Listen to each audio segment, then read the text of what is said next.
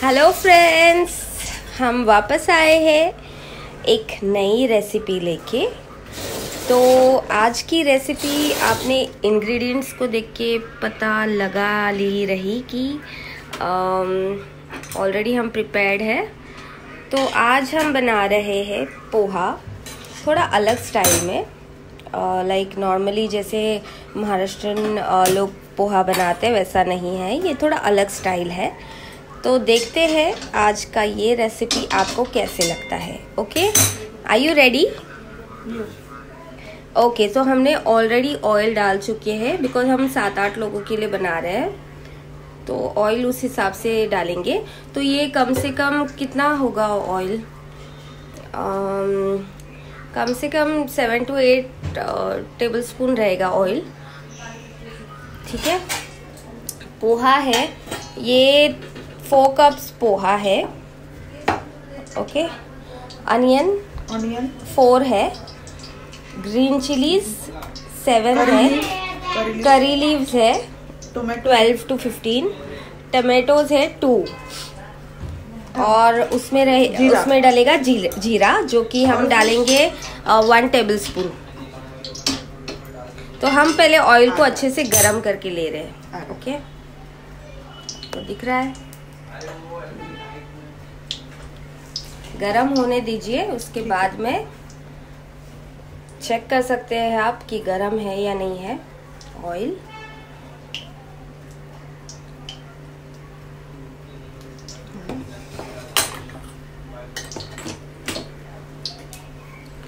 अब हम इसमें वन टेबल स्पून जीरा डालेंगे। अजून थोड़ा सा बस. वन टेबल स्पून जीरा. इसको अच्छे से रोस्ट करना है ऑयल में. आप देख सकते हैं गरम ऑयल है. उसके बाद में आप डालेंगे उसमें ग्रीन चिलीज़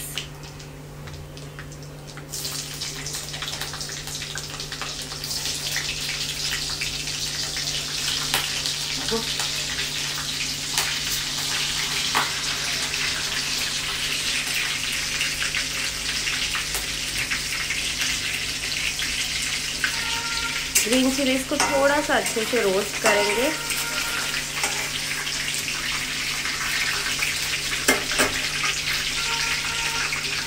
हम्म। इसमें डालेंगे करी लीव्स।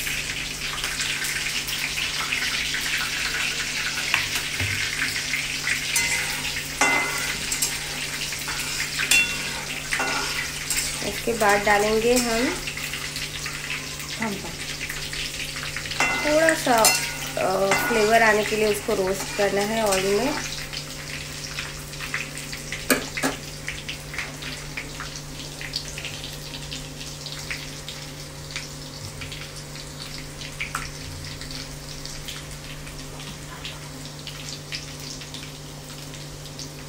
अनियंस डाल देंगे, जो हमने दो लिया है।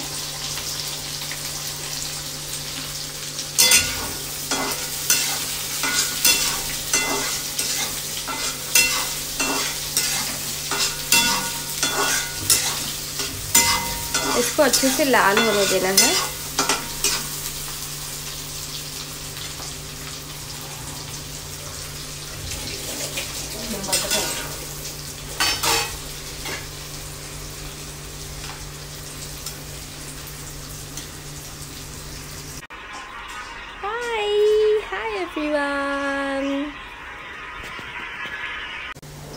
हाँ तो आप देख सकते हैं, हमारे अनियंस अच्छे से ब्राउन हो चुके हैं।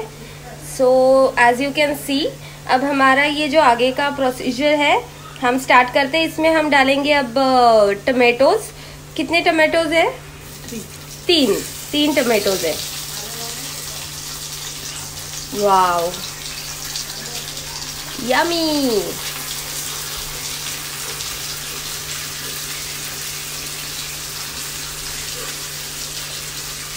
अच्छा लग रहा है बहुत।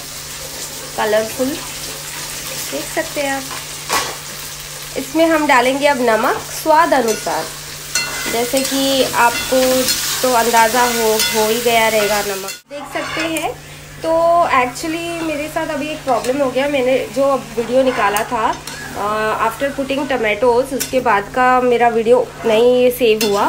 तो टमेटोज़ डालने के बाद हल्दी डालना है आपको आधा चम्मच।